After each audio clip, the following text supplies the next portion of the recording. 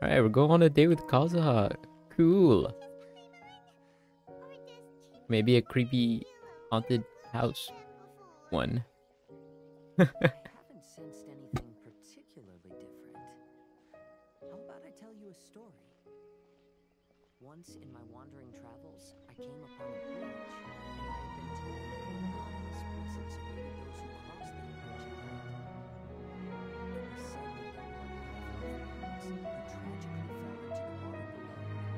Hmm?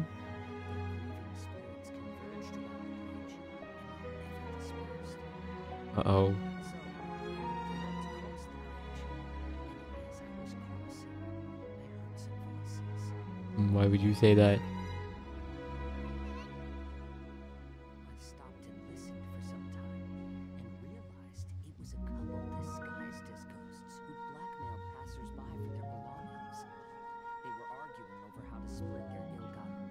Oh.